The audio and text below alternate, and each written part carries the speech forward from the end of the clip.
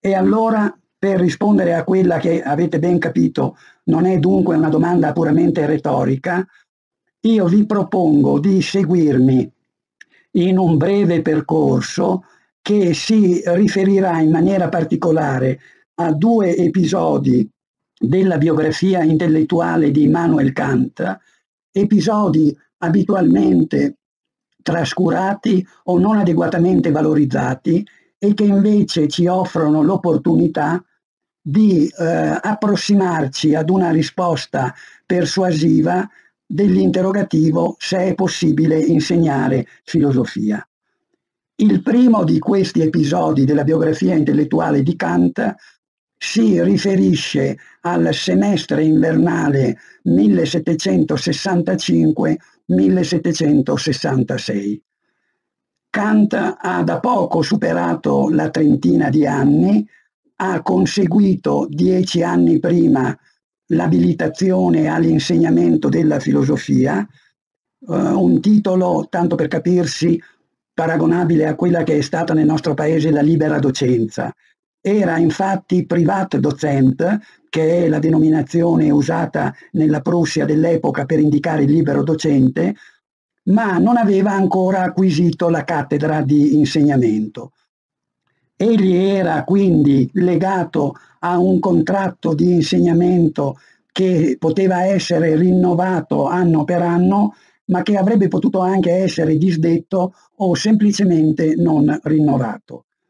Era allora fondamentale per il giovane precario professor Kant poter contare su una ampia partecipazione degli studenti al suo corso universitario di lezioni e soprattutto era necessario o fortemente raccomandato che egli potesse contare su un notevole gradimento per il suo insegnamento, visto che lo stipendio degli insegnanti era formato dalle tasse versate dagli allievi, i quali quindi in qualche modo pagavano direttamente i loro docenti e poter contare sul consenso, sulla popolarità, sul gradimento degli studenti era dunque una garanzia di rinnovo del contratto e anche eventualmente di un aumento della retribuzione mensile.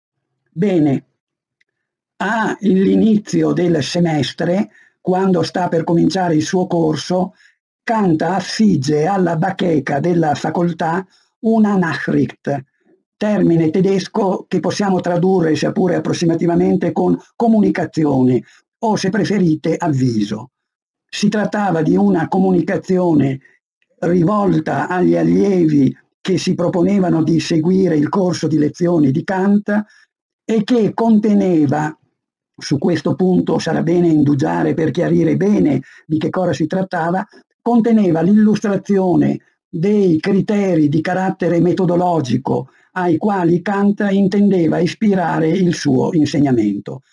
Insomma, tanto per capirsi, la Nachricht comprendeva una sorta di dichiarazione di intenti tale per cui gli allievi potessero sapere anticipatamente quali fossero gli obiettivi formativi indicati, prescelti dal docente e potessero quindi esercitare a ragion veduta le loro scelte. Un punto va sottolineato prima di cominciare a esaminare alcuni passaggi della Nachricht. L'organizzazione degli studi universitari in quel periodo prevedeva un primo anno uguale per tutti gli allievi, nel corso del quale veniva impartito un insegnamento di filosofia generale valido per tutti gli allievi, indipendentemente dalle scelte opzionali che avrebbero esercitato a partire dal secondo anno.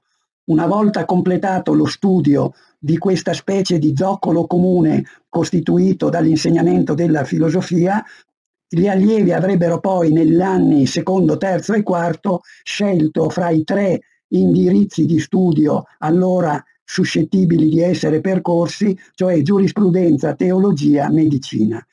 Ma l'insegnamento della filosofia avrebbe riguardato tutti gli allievi. Teniamo presente questa circostanza apparentemente estrinseca, perché è un dato che fa da sfondo alla comprensione della Nachricht che viene delineata da Kant come indicazione del programma di insegnamento per l'anno accademico 1765-1766. Bene, proviamo a vedere insieme quali sono i passaggi principali di questo testo kantiano. Uh, leggo alcuni passi da questo testo. Il testo è rimasto inedito vivente Kant, è stato poi ritrovato nelle carte di Kant e pubblicato molti decenni più tardi, poiché la redazione di questo testo risale a un periodo che precede di 15 anni la pubblicazione della critica della ragion pura, anche la Nachricht viene abitualmente liquidata come un testo minore, come uno scritto preparatorio del decennio, gli anni Ottanta, in cui Kant pubblica le tre critiche. Ma vedrete come uno scritto apparentemente minore, che ha una destinazione prevalentemente didattica, non destinato alla pubblicazione, possa in realtà contenere alcuni temi, alcuni spunti di particolare importanza. Io penso di procedere nel seguente modo.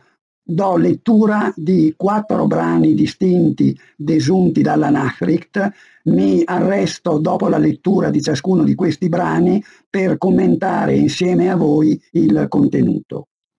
Scrive Kant, da un insegnante ci si attende che formi nel suo discepolo l'uomo intellettivo, poi quello razionale e infine il dotto.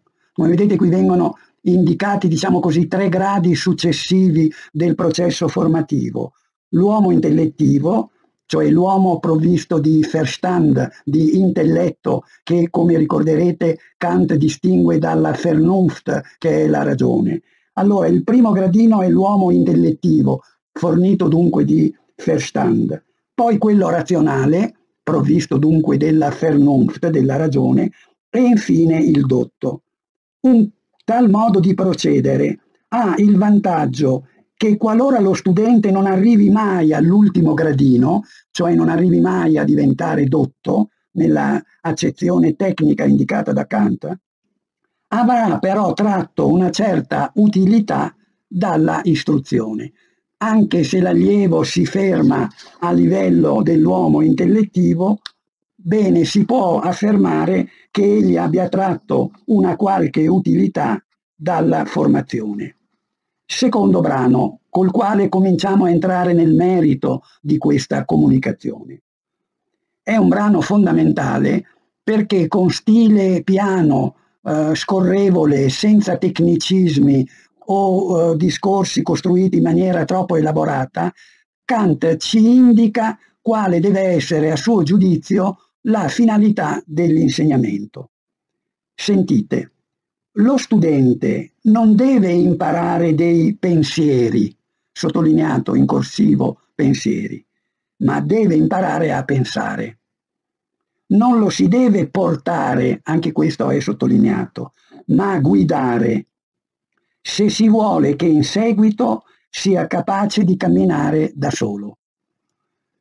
Proviamo a riflettere su queste tre semplicissime righe, eh, non so quale prima impressione suscitino in voi, ma eh, suggeriscono immediatamente, almeno alla prima lettura che ne avevo fatto, l'impressione di affermazioni al tempo stesso ovvie, ma estremamente preziose e tutt'altro che scontate se noi abbiamo presente le modalità concrete di insegnamento della filosofia, sia a livello secondario che a livello universitario. Qui faccio solo una postilla. C'è da domandarsi quante delle discipline filosofiche che vengono impartite negli studi universitari corrispondono a queste indicazioni kantiane, fino a che punto la finalità perseguita dai docenti è quella di insegnare a pensare piuttosto che limitarsi a insegnare pensieri. Per cui pur nella loro apparente ovvietà, le tre righe che abbiamo letto sono fondamentali. Le rileggo. Lo studente non deve imparare pensieri, ma deve imparare a pensare. Di conseguenza, non lo si deve portare, cioè non dobbiamo condurlo in maniera che egli si lasci trascinare passivamente, ma dobbiamo guidarlo e guidarlo implica un'azione da parte del docente che assecondi l'autonomia intellettuale dello studente senza sostituirsi allo studente nel processo di crescita. Se si vuole che in seguito sia capace di camminare da solo. Ecco, questa è la finalità qui per la prima volta enunciata con chiarezza da Kant. Compito dell'insegnamento è insegnare a pensare, guidare lo studente in modo che poi in seguito sia capace di camminare da solo. E ancora,